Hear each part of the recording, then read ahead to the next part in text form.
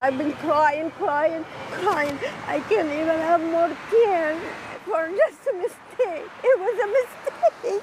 I'm fired. I'm gonna be in the street because of mistake.